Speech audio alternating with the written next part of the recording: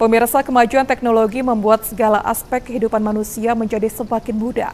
Namun bagai pisau bermata dua, teknologi juga dapat membuat seseorang terjerat dalam permasalahan hukum jika tidak dimanfaatkan secara bijaksana.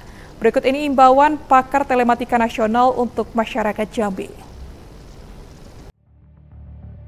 Perkembangan zaman dan teknologi di era ini bagaikan pisau permata dua. Di satu sisi, teknologi memudahkan setiap orang untuk beraktivitas sehari-hari, bahkan menguntungkan secara finansial. Namun di sisi lainnya, teknologi juga berpotensi menjerumuskan seseorang kerana hukum jika tidak dimanfaatkan secara bijaksana.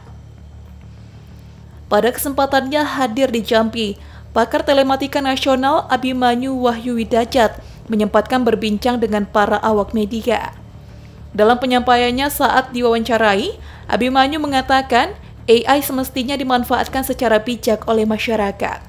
Pakar telematika yang pernah berstatement pada kasus kopi sianida Jessica dan kasus Ferdi Sambo ini menambahkan, dalam pemanfaatan AI, bijak yang dimaksudkan yakni setiap orang mempertimbangkan sebelum ingin menggunakan teknologi AI. Jika berniat buruk hanya untuk mencari sensasi dengan menyebar hoaks atau pemalsuan, sebaiknya difikirkan kembali karena akan mengubah persepsi masyarakat terhadap dampak positif AI. Gini, kepada masyarakat, kalau saya pertama mengimbaunya, apa pun yang diberikan AI, manfaatkanlah.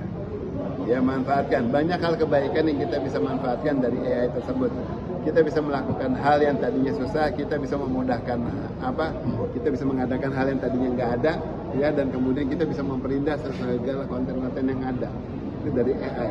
Tapi satu hal, janganlah AI itu dimanfaatkan untuk memanipulasi.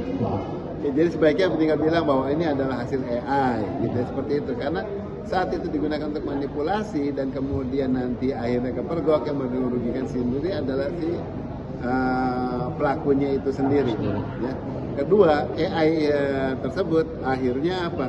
Manfaat dari AI itu jadi kemudian ter, tercoreng. Hmm. Jadi akhirnya orang nanti wah takut pakai AI di sini padahal hmm. hanya segelintir orang yang melakukan manipulir. Kemudian yang ketiga adalah saat kita mengirimkan suatu berita bohong, coba silakan pikirkan kembali apa keuntungan kita dari berita bohong tersebut. Apakah ada keuntungan finansial kah?